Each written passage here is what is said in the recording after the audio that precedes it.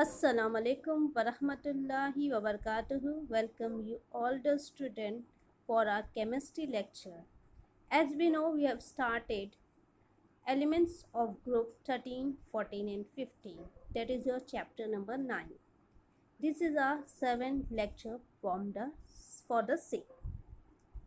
Today we are going to study first the numericals which is based on our previous lecture germanium GeCl4 that is germanium tetrachloride. Is more stable than germanium dichloride. Okay? Here the question is germanium tetrachloride is more stable than germanium dichloride. While Pb that is your lead dichloride is more stable than lead tetrachloride. It means it is reverse. Germanium tetrachloride is more stable than germanium dichloride. While lead dichloride is more stable than lead tetrachloride. Okay? We are supposed this is the question this is the statement. We are supposed to explain it. So here is the solution. Germanium and lead are the fourth and fifth period elements. Down the group 14 as we move down the group 14 that is your p block elements germanium belongs to fourth period while lead belongs to fifth period of the modern periodic table. And both are from the same group that is your group 14 as we know the group oxidation state for group 14 is 4 for group 14, the oxidation state is 4 and the stability of other oxidation state lower by 2 unit which increases the group. As we have studied in a previous lecture oxidation state. Based on that, we know that the group oxidation state is 4 and as we move the group the stability of other oxidation state is lower by 2 unit. It means the group oxidation state is 4. We are subtracting 2 from it. So 4 minus 2 we are getting the answer 2. As we are moving down the group, the oxidation stable oxidation state will be plus 2. Okay. So the group oxidation state is 4 but the stability of other oxidation state lower by 2 unit as it increases down the group due to inert pair effect. This is the reason the stability of, of, of the oxidation state 2 is more in lead than in germanium. As it moves down the group, lead is more stable in PbCl2 form than in PbCl4 form. Okay student? Let's move further towards the next numerical. Nitrogen does not form. Nitrogen pentachloride NCl5 or nitrogen pentafluoride NF5 but phosphorus can. Okay? Here nitrogen does not form halogen compound in pentachloride form and pentafluoride form but phosphorus can. We are supposed to answer the question. Answer the statement. So here is the solution. Phosphorus and other members of the group can make use of d orbital in their bonding as thus compound can form metal trihalide as well as metal pentahalide okay? Leaving behind nitrogen here are the members of the group such as phosphorus and the other member. They consist of d orbital. As they consist of more atomic number, they contain more number of electron. As they contain more numbers of electron, number of shell will be more and they consist of d orbital. Due to which phosphorus and other member, other members of the group, they make use of d orbital and thus they can form compound in mx3 form as well as mx5 form. Mx m means metal x means halogen. Metal trihalide as well as metal pentahalide okay? Whereas nitrogen cannot form nitrogen pentachloride or nitrogen pentafluoride. Since it is void of d orbital since it doesn't contain d orbital in its second shell okay it doesn't contain d orbital what is the atomic number of nitrogen? Okay it is 7 okay so it doesn't contain it contain two numbers of cell and it doesn't contain d orbital in its second shell hence nitrogen does not form nitrogen pentachloride or nitrogen pentafluoride while other members such as phosphorus of the group they can form nitrogen uh, that is your uh, metal trihalide as well as metal pentahalide let's move forwards towards allotropy. What is allotropy? What is the meaning of allotropy? When a solid elements exists in different crystalline form. Okay?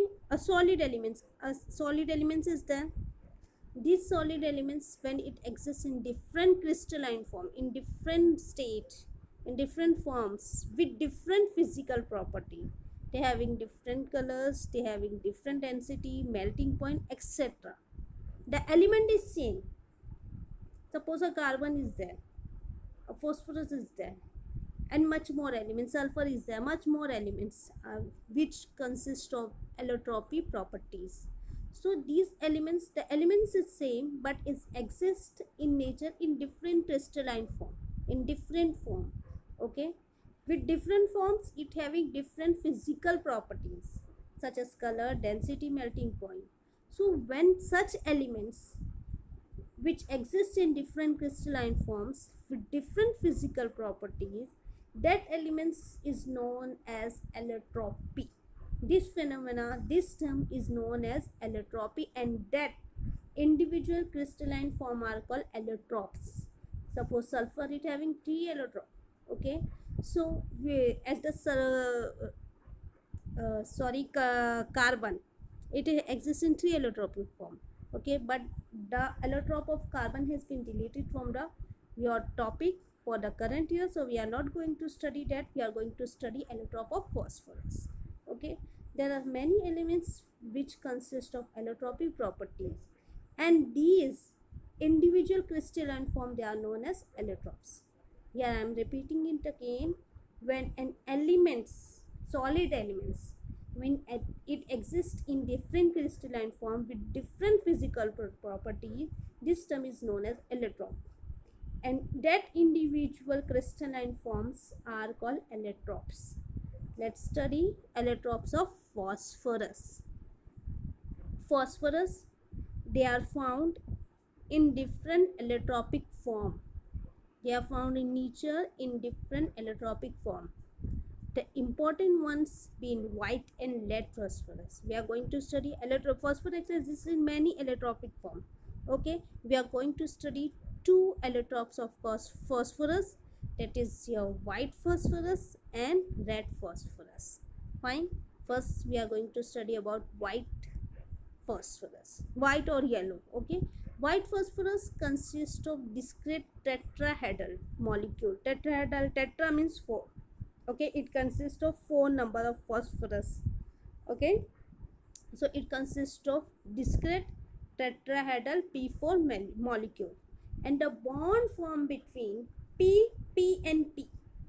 Okay, a bond we are making uh, an angle and there is certain degree. If we are making right angle it having 90 degree. If we are making nine, uh, acute angle it is less than 90 degree. When it is we are making more uh, obtuse angle it is consist of more than 90 degree. So the bond angle between p p and p. Okay here you see one p another p and third p so the bond angle which is formed between these p p p is your 60 degree that is your acute angle. Fine? Here you are supposed to know that white phosphorus is less stable. It is not stable. As it is not stable it will be more reactive. When we as when we are less stable we react very fast. We do whatever the one. When we are stable we are calm okay so here white phosphorus is less stable due to this reason it is more reactive. Because of angular strain in the p4 molecule you see there is an angular strain has been formed between in the p4 molecule. What is its properties? It is translucent. Translucent means the one which allow the light to be passed from it okay? Anything which allow the light to pass through it that is known as translucent. But it is not transparent okay? Transparent which can you can see clearly okay? It is not transparent. It only allows the light to pass to it. So your white phosphorus it is translucent. White waxy solid. Wax like solid okay? Your wax you know wax the candles like. So it is translucent white waxy solid. It glow in dark when when the it is dark is there when you keep uh, white phosphorus it will show light okay? So it, this property is known as chemiluminescence. What? Chemiluminescence okay? So it glows in dark. Its next property it is insoluble in water. When you dissolve white phosphorus in water it will not dissolve. It is insoluble but it dissolve in NaOH solution. NaOH means sodium hydroxide. Boiling is there the condition is there boil so it is insoluble in water but dissolve in boiling NaOH solution that is your sodium hydroxide. The next property it is uh, poisonous for it is toxic it is harmful. Fine. So these are the properties that it is translucent white waxy solid. It glows in dark. It is insoluble in water but dissolved in boiling sodium hydroxide solution. It is poisonous in nature. We are moving forward towards our next allotropy form of phosphorus. That is a red phosphorus. Red phosphorus consists of change of p4 tetrahedral linked together by covalent bond. Yes you see one molecule of p4 that is your tetrahedral structure of phosphorus okay? So one p4 is linked to the another p4 another p4 is in turns linked to the another p4 that is the tetrahedral structure of phosphorus. So here one p4 is linked to the another p4 by covalent bond. You know very well what is covalent bond student? A bond formed between two atoms by sharing of electron okay?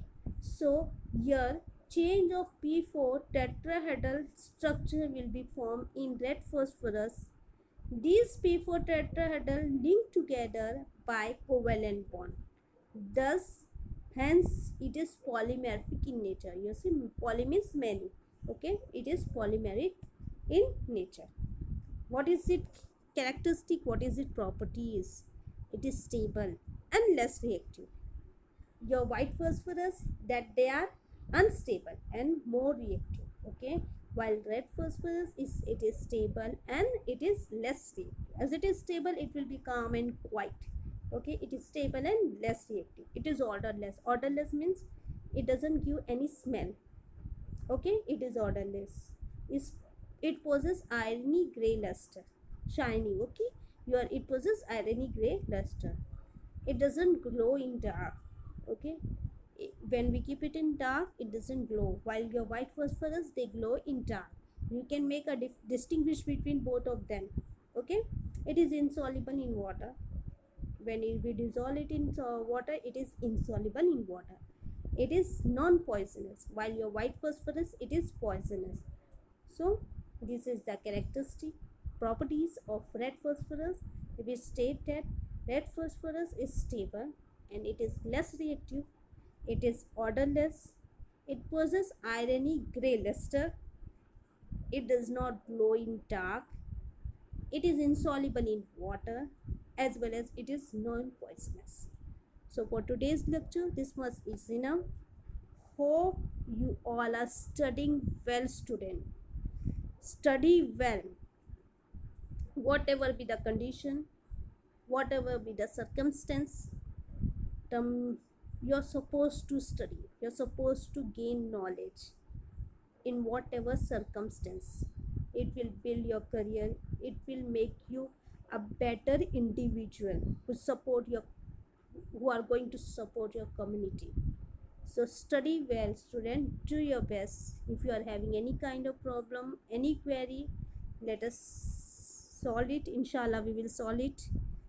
Till then take care students. Study well do your best. Allah hafiz thank you